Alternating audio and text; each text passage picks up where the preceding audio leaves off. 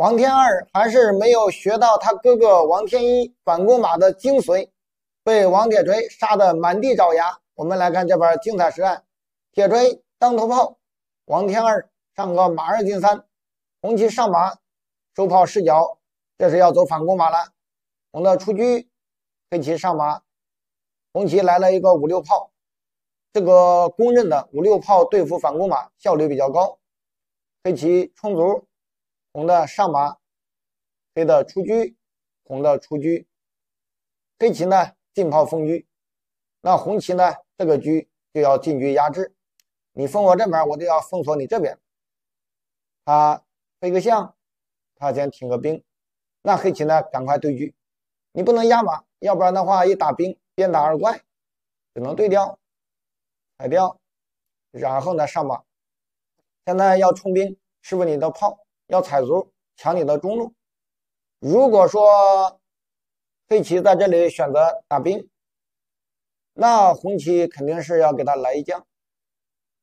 你补一手士，他再把车给你一对，你踩掉，或者说你打一将。你要是有的人会贪图小利打一将，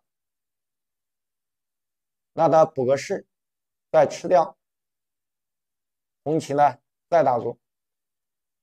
这样呢，虽然说你吃掉了一个象，但是呢，车对完之后，你看你两个马还在原地没动，红棋呢以后势必形成多兵之势，而且呢大子站位好，那这个棋呢，黑棋多吃个象可以说是得不偿失。所以说他并没有选择打兵，而是进炮，压缩这个车的空间。那红棋二话不说踩掉，黑棋吃掉。打一将，上个士，哎，他还是贯彻的思路，多兵的思路，先谋求物质力量。黑棋一看那不行啊，多俩了，他也瞄住一个，他伺机要冲。那红棋呢，飞个象，黑棋开火，红棋呢并没有选择停兵，哎呀，直接打掉。黑棋上马踩一下，红棋呢下去，哎，你要是再打这个兵，以后把把这个马给放活了。在这里，他是选择上马，以后准备踩马，把马逼退之后再打你的兵。那红棋呢，退一手，黑棋上马一踩，红棋平炮叫杀。黑棋在这里有几种下法：出老将、上士、进马挡。他是选择了这个士。那红棋呢，先忍让，黑棋进车找个根儿。那红棋不干，重兵挺起来。黑棋呢，赶快扫个兵，下一手准备吃兵，有个捉双。那红棋挺起来，黑棋呢无子可动，出老将。红棋上来一手士，红棋这招上士应该说是一个败招，他应该先将一军。可惜呢，黑棋在这里没抓住机会，黑棋在这里应该果断的平车，弃这个炮。嗯，您要是吃掉他铁帽子一扣，下一手一跳马就是一个双杀。你连高车啃炮的机会都没有了，他这个马一跳，现在是个杀，你只能送了。你送他一吃，你把这个一吃，他就往这一卧，那这个棋呢就没法解救了。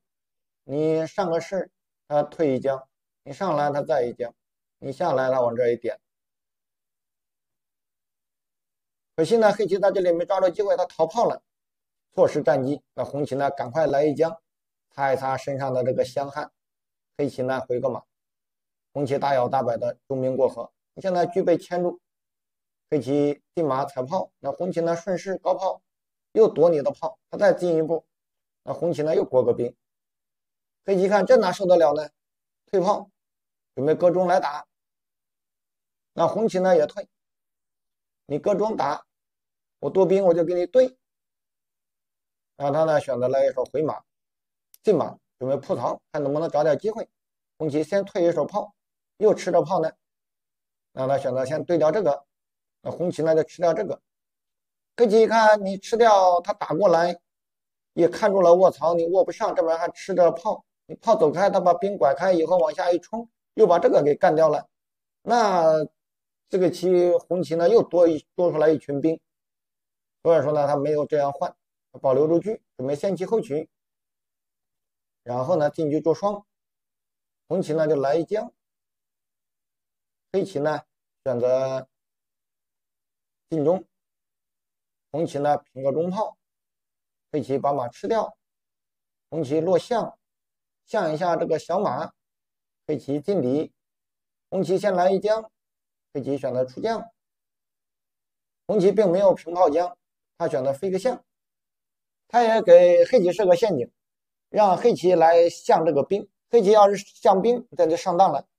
你吃兵，他就有一个将军，你只能进去，然后呢有一个回马打车，你只能上马，然后呢车一平，这样呢马就丢了，你这残个象你也守不和。那黑棋也看到了，他选择一将，那红棋呢平炮反将，黑棋进老将。这个象呢，我管不住了，我也不管了，杀士。